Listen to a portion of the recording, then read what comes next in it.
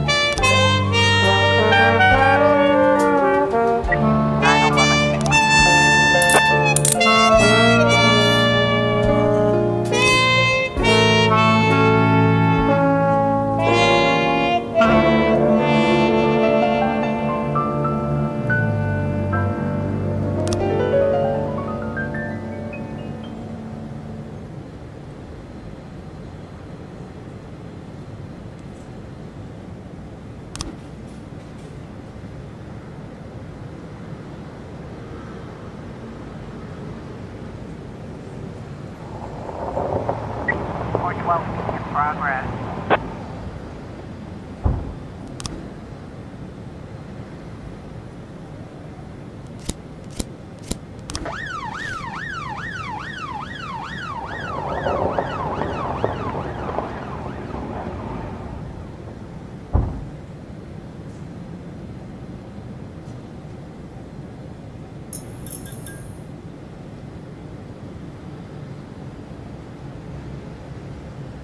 410A in progress.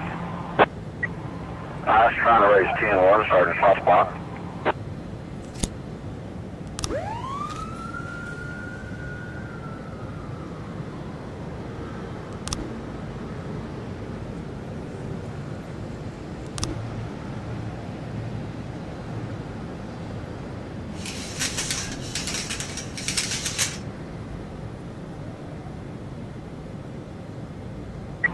10A complete.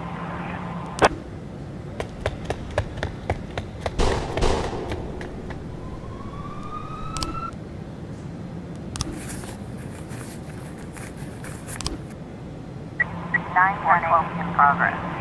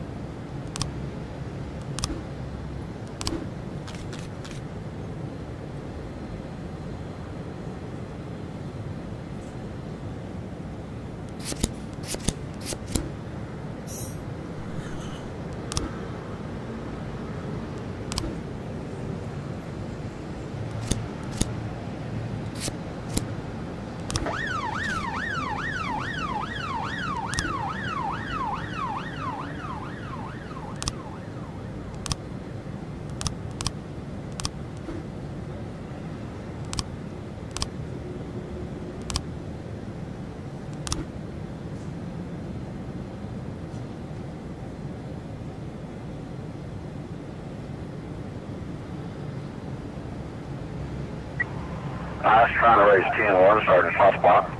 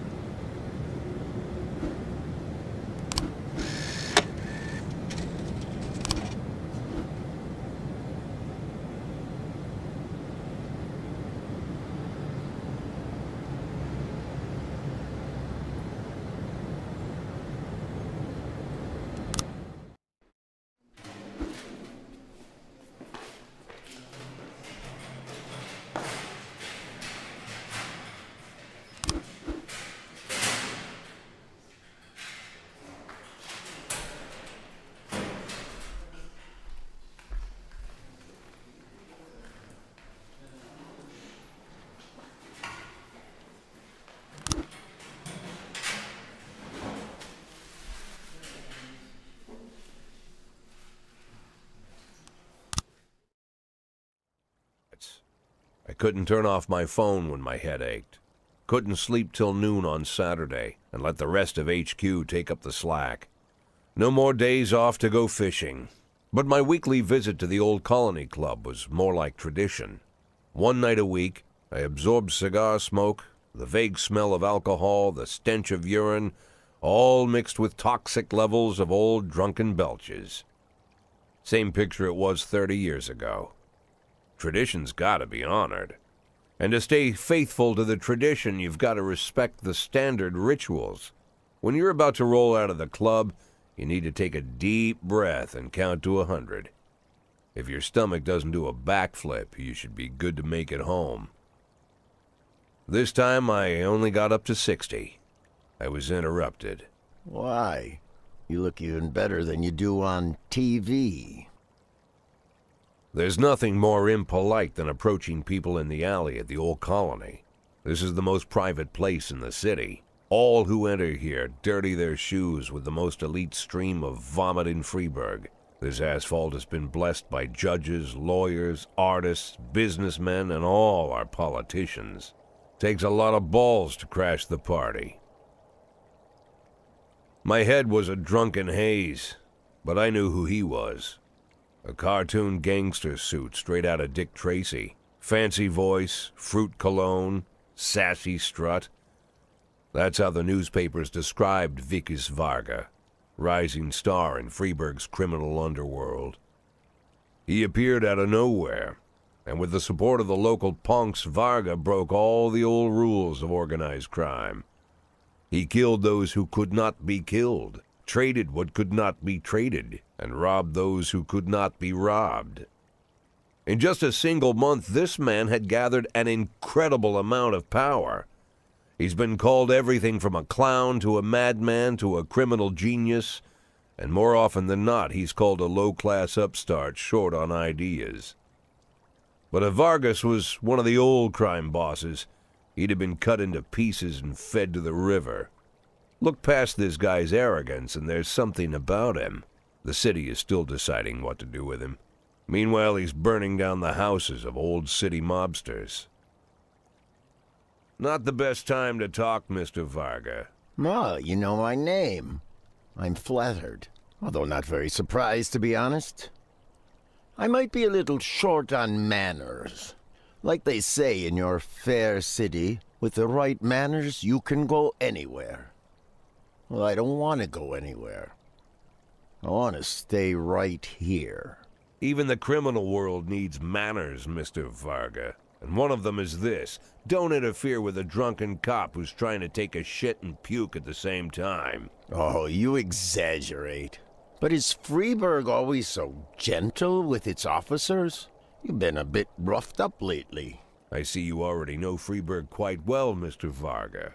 Well, I love to learn and look around, but I do know that the inhabitants of this fair city should be friends, Jack. Maybe it's true I don't have the best manners. After all, it's only polite for friends to share their phone numbers.